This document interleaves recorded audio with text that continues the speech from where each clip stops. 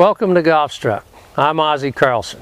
Our featured tour player today is one of our all-time favorites, the Big Easy, Mr. Ernie Els, who's just been inducted into the World Golf Hall of Fame.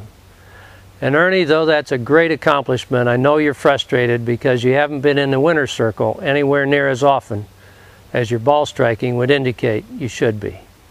What I'm seeing is too many short putts missed, particularly left.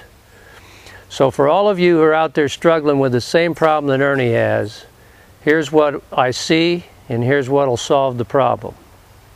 Ernie, as I watch you stroke your short putts, I'm seeing you open up so I can see your right shoulder and your right forearm as you go through.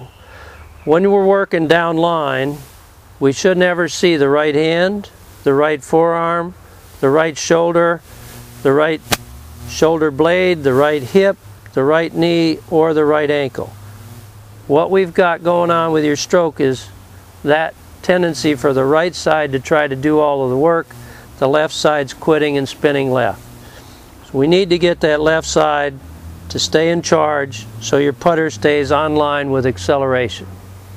Here's a simple little drill that'll work for all of us who are struggling with that problem of pulled putts to the left.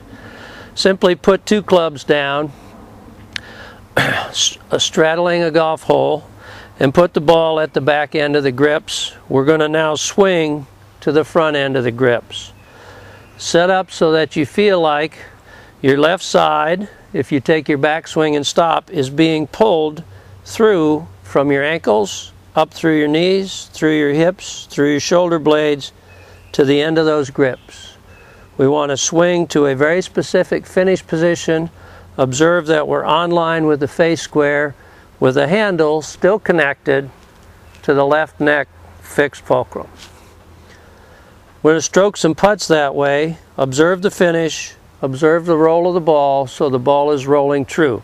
So we're always going to put a line on the ball. Take the time to line the ball up. Get the feel of the right side staying in behind the left side and swinging on line with the face square with the body pulling us through, rolling the ball true. When you get that, Ernie, with your left side, then let's repeat it with the right side. Set up to feel the right side in behind and up against the left side. Get the putter back here and feel your whole body pulling it through to the end of those grips. Observe your finish. Observe the roll of the ball.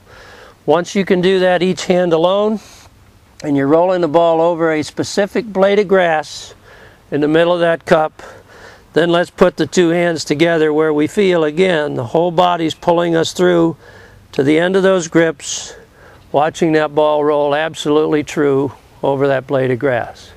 Now you've got your left side and your right side on the same page, both working toward your finish position. And when you can get to your finish position on line with the face square at the putter's own natural speed, now you've solved both the line and the speed problem. You'll start making all those putts that have been keeping you out of the winner's circle. We look forward to seeing you there again soon. And for all of you who are struggling with the same problem, this little drill is the best thing that I've found to, to get you accurate for both line and speed with a left side feel and a right side feel with consistency. I'm Ozzie Carlson, Golfstruck. Better golf right now.